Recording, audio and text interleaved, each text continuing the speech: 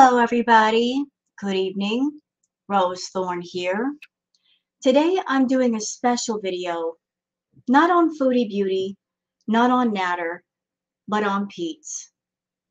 Because I think some things need to be said about Peetz.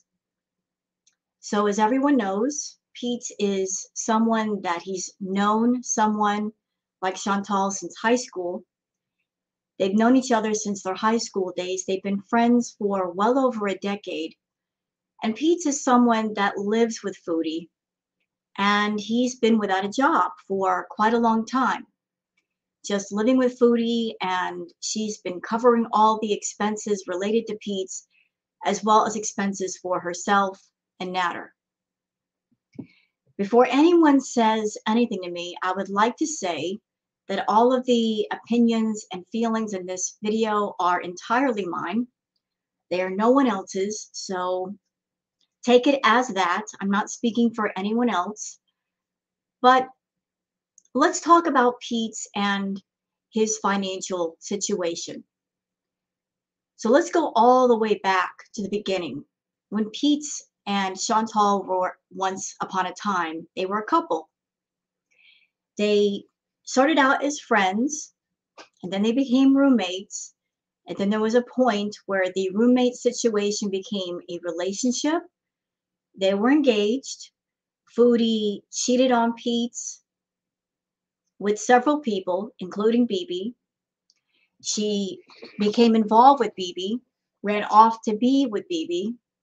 While she was with BB, she was still getting money from Peetz.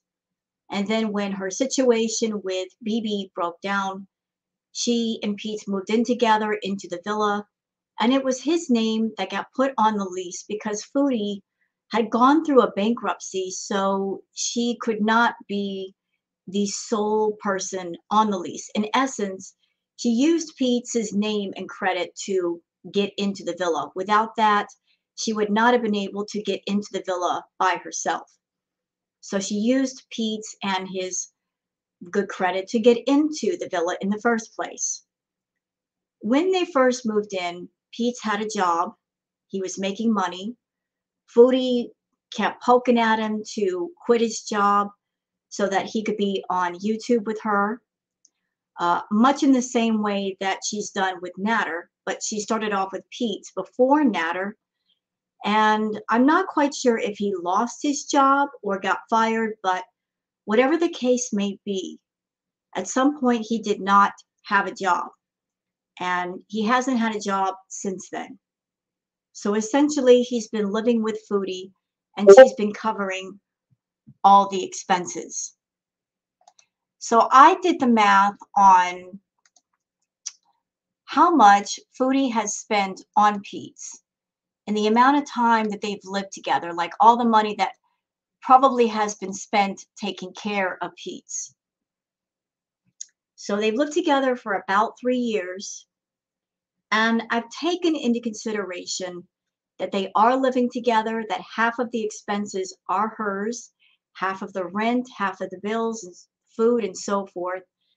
So I came up with a rough estimate of what I think it cost her to have Pete at the villa and to take care of him as well as everything else around the villa.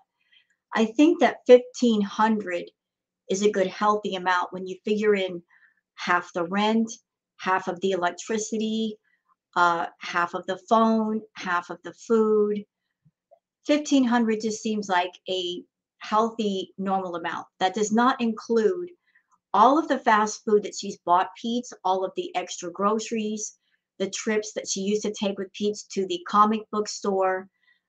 1500 just seems like a healthy amount for the amount of money that she spent on Peetz every month. And the amount that I came up with for the three years that she's lived with Peetz, in total, a rough estimate would be about $54,000. Now I know that Foodie when she broke up with Pete. She left him basically in financial ruin. She has said that, and he has said that. That when she left Pete, she left him in a very, very bad position. Uh, he was financially broken as well as perhaps emotionally broken. But Pete has been living at the villa for well over two years without a job. He doesn't contribute in any way financially, and he doesn't even contribute around the house as he should. But in the three years that he's been with Foodie, she has spent somewhere in the neighborhood of 50K uh, just to take care of Peetz. Now, if you're someone and you live with somebody and you are not working, even if you're not working, you can still contribute to the household. If you're not working, that means you have all kinds of time to do the housework or do the laundry, keep the dishes clean, vacuum the floors. Peetz doesn't even do that. He cannot come to Foodie and say, Yes, I know that I'm not working, but I am contributing to the household. I am taking care of things that you don't take care of. He, he's not bringing anything financially to the table. And he's not even able to say, well, even though I'm not contributing money, I am contributing something. I'm keeping things running while you're away. Now, I'm somebody that I will confess that I've been involved in relationships before where I lived with people and the beginning of those relationships, they had jobs, they were taking care of themselves, but once they moved in with me, they decided to live off of me, and then everything went downhill from there. So I know what it's like to have someone live with you and they're not even trying to contribute. And I will say from personal experience that when you live with someone and they're putting all that pressure on you, they're not trying to take some of the weight off your shoulders. They're they're not trying to help. It just you you tend to get resentful of that person and angry because there's somebody living in the house that they should be doing their part and they're not doing anything. They're just adding more of a financial burden. You know, that's one more mouth in the house you have to feed, one more person running up the electricity, one more person eating the food. Foodie is living with Peetz. And my opinion, I feel the reason why she is okay with Peetz living there and not paying for everything is perhaps she feels some leftover guilt over their past, where she left him in financial ruin and she feels like she owes him. Another reason why I feel that she's okay with the situation and she's putting up with it is because some Peetz is somebody that he's known her for so many years. He knows all of her dirty secrets, all of them. He's privy to a lot of things that those of us on YouTube do not know. And he could easily open up his mouth and spill her secrets if she tries to screw him over one more time. So to keep him quiet, to keep him happy, she's willing to pay for everything. And I'm not sure what the financial debt was between them, like how much money she took him for, how much debt she put him in.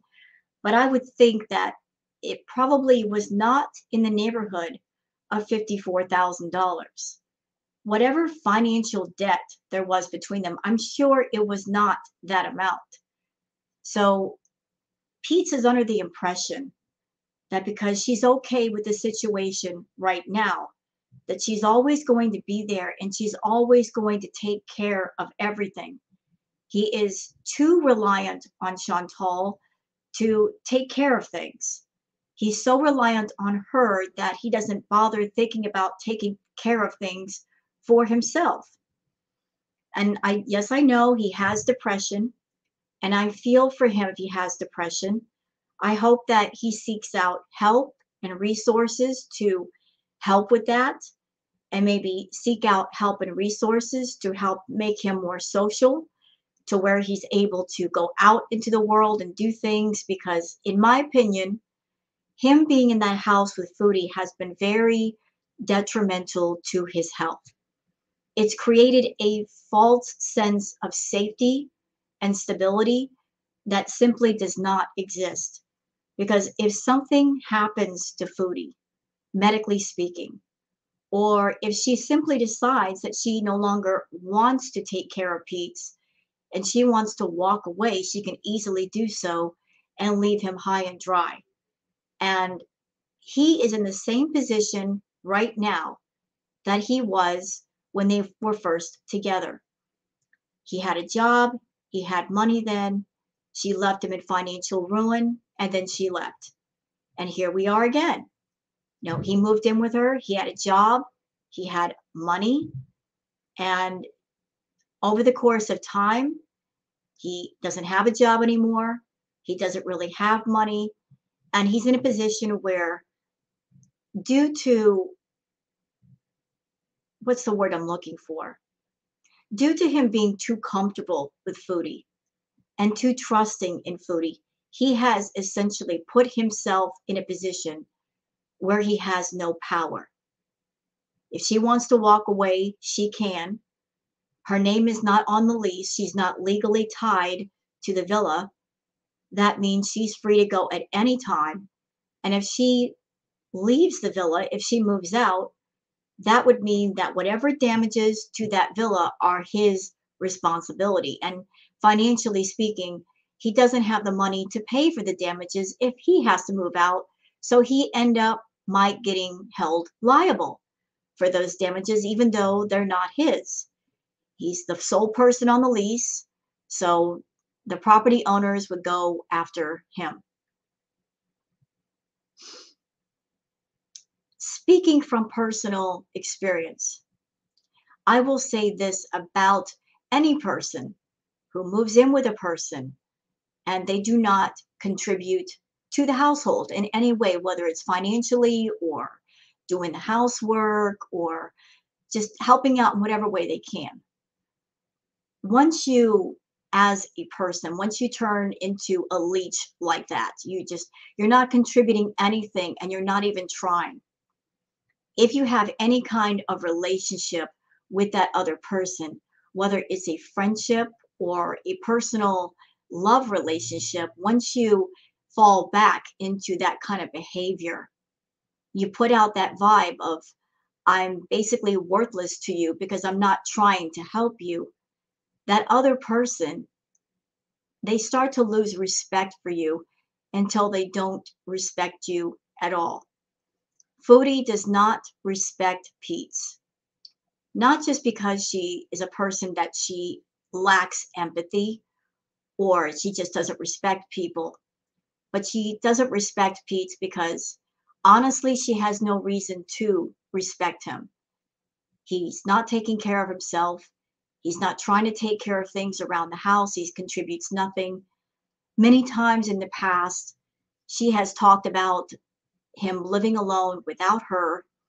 Uh, she said it'll be better for the both of them. And in this one thing, I can agree with Foodie. I think it would be very beneficial for the two of them to be separated. I think she and Pete, they are both too codependent on each other for all the wrong reasons. They back each other up on their bad behaviors. And because they do, there's no chance of growth for either one of them. You know, they're just they're just reinforcing each other's selves that are not able to grow or be enriched or move on. Uh, I've noticed lately that Peetz, he's very concerned because there's been talk about Foodie moving in with Nader, and he should be concerned because, as I said, he's not got a job, he's not got any money, he's too reliant on Foodie, and he is oblivious to everything going on around him. If I were Peetz, I'd be paying very close attention to everything going on because the warning signs are all there. The red flags are all there.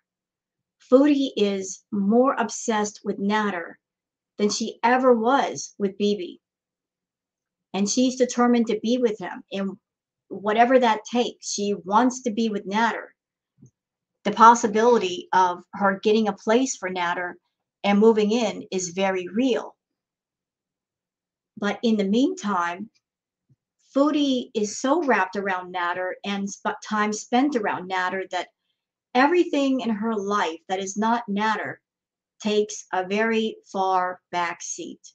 And she's getting to the point, or she's gotten to the point, where she is resentful of anything that is a responsibility and a burden.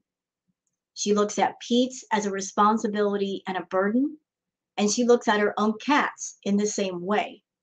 And notice how neglectful she's being with all three. She doesn't really want to be around Peetz. She doesn't want to be around the cats. She wants to be with Nader. And she looks at the cats and she looks at Peetz as just obstacles that are in her way right now. And she's trying to find a way to get rid of those obstacles so she can be with Nader. I don't like Peetz. I used to feel some pity for him, but considering his present behavior, the way he takes out his aggression on BBJ, the way he talks to her, I lost all pity and sympathy for him the moment he started doing that. Clearly, he's got some anger for Foodie that goes all the way back to when she left him to go be with BB. Clearly, he's got some aggression and anger and bitterness over the fact that she left him in financial ruin. But rather than go to Foodie and voice his feelings as he should, rather than take his anger where it belongs, he would rather vent out his anger and frustration on animals that can't talk back and can't fight back. And I'm sorry, Pete, that is not correct behavior. Those cats didn't do anything wrong to you. Therefore, you should not be taking out your anger on them. If you got something against Foodie, take it up with her. Perhaps if you showed some courage to Foodie, she might be as crazy over you as she is Nader. But Foodie has no respect for you, Pete. You're just a burden to her, a very expensive burden. You're in the house, you're using up the electricity, you're eating the food. She's got to take care of you. You're a grown man. You should be taking care of yourself, and you aren't. You're just a useless lump to her that she just has to get rid of in order to be with her man. And I don't know if you're running around thinking that, oh, she will never get rid of me. She'll never do that to me. But remember all the way back, Peetz. Remember all the way back to where the two of you were engaged.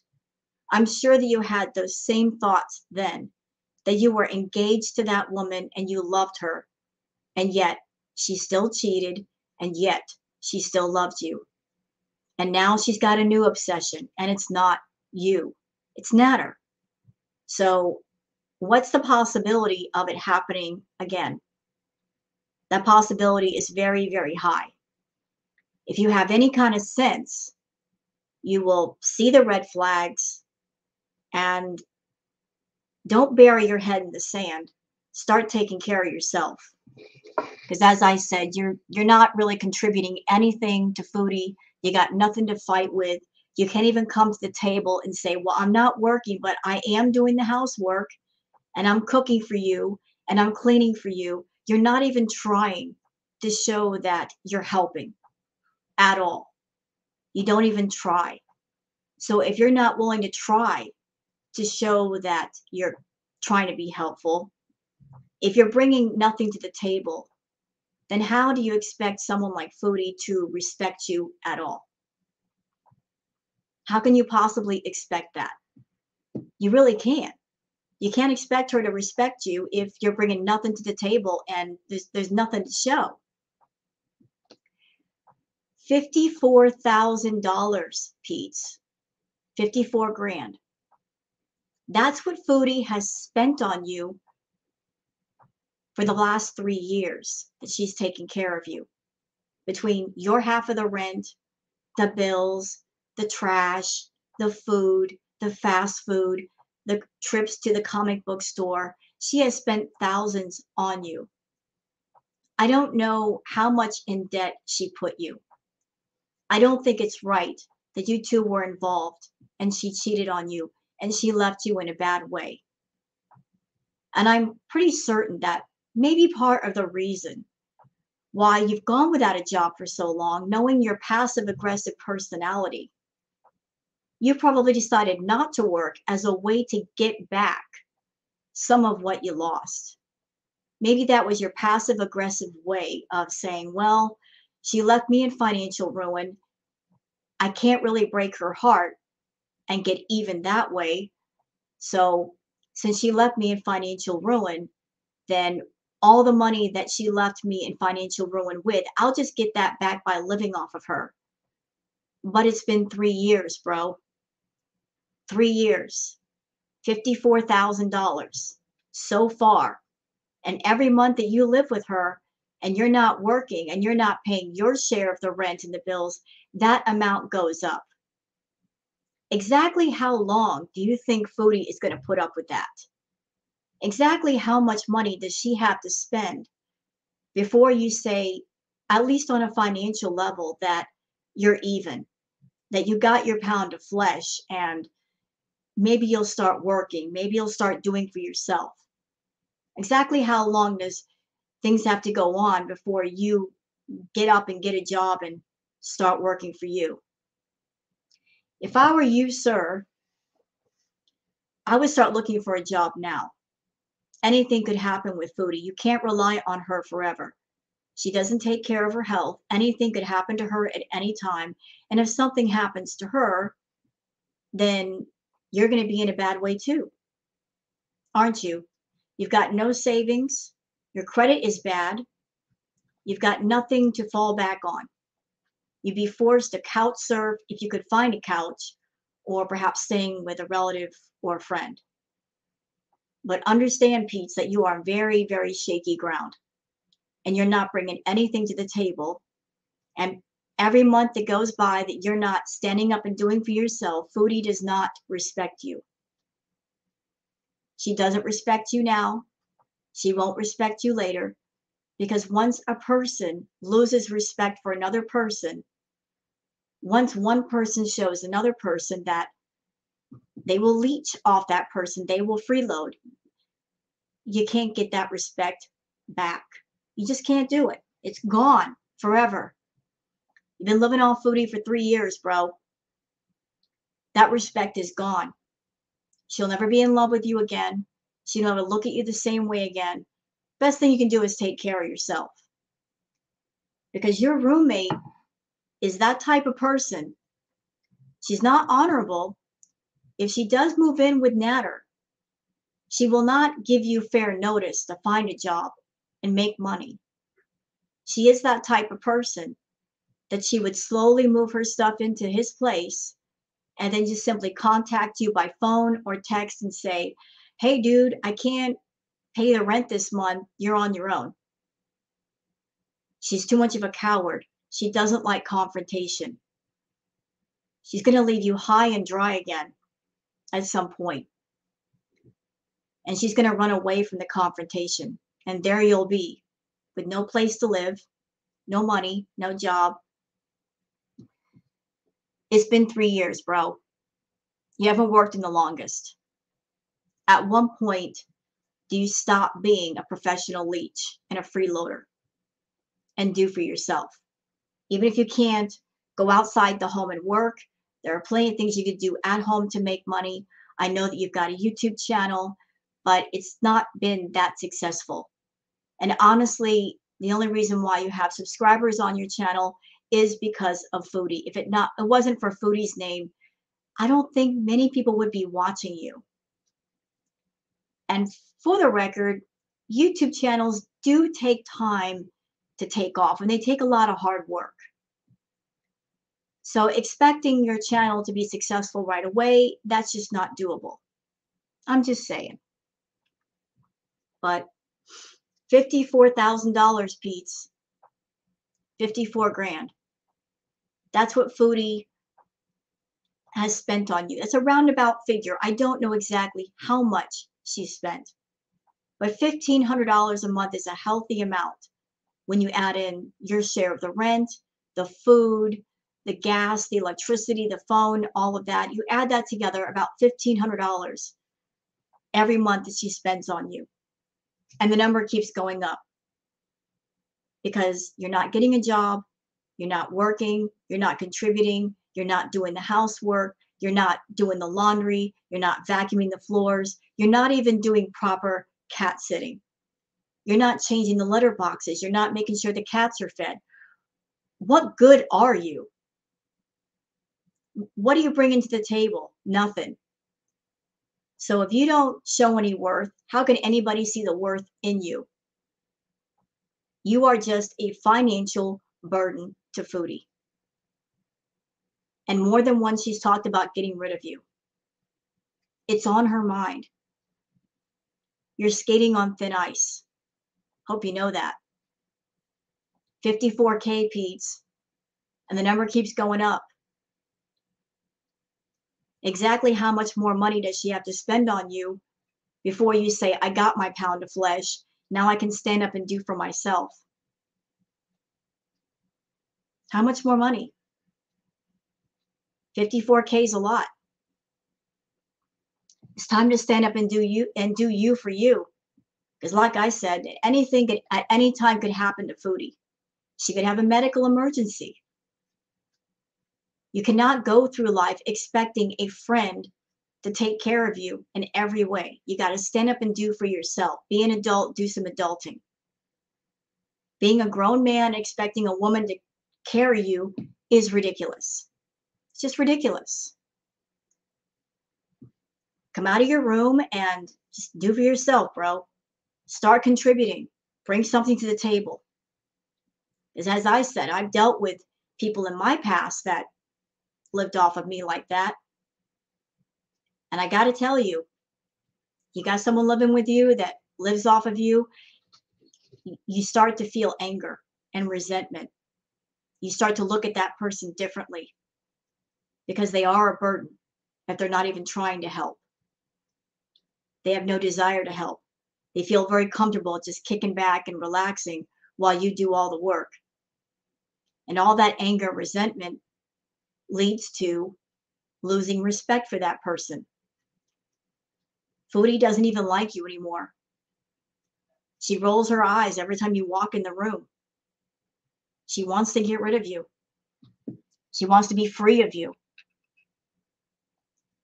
I hope one day you do wake up and you get away from Foodie because, like I said, the two of you just do not need to be around each other. You both back each other up in bad ways. You cannot use Foodie as a safety net so you don't have to deal with real life. Anything can happen to her at any time. 54K, Pete. I think whatever financial situation she put you in, that it's been paid off. So if that's the reason why you've not been working, that debt's been paid what else are you waiting for? What else is there? I'm just curious. Let me know. All right, guys. That's all I want to say for this video. Hope you guys have enjoyed it. Please take care and have a good one. Bye-bye.